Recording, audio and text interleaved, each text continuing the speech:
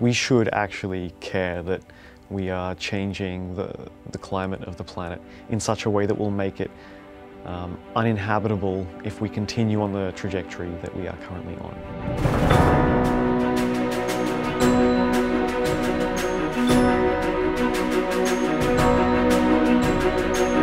I'm Willem. I graduated from a Bachelor of Advanced Science here at UNSW.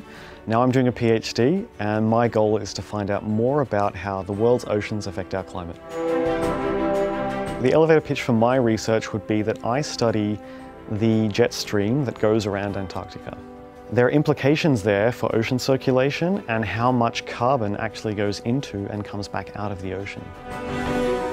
So a really valuable experience in the context of my study was probably a research cruise. It was called the Australasian Antarctic Expedition. So we went to three islands. They were Campbell Island, Auckland Island, and the Snares. And I was one of the PhD students who applied to go along as a scientific assistant. It was valuable in the sense that I got to see a lot of other climate scientists in the field doing their work. And I think going on this trip and working in the field with all these different disciplines was actually incredibly useful.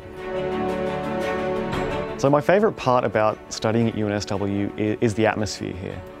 Working with a lot of really, really intelligent people um, that you just have access to. You can just walk down the corridor and ask them any question you like.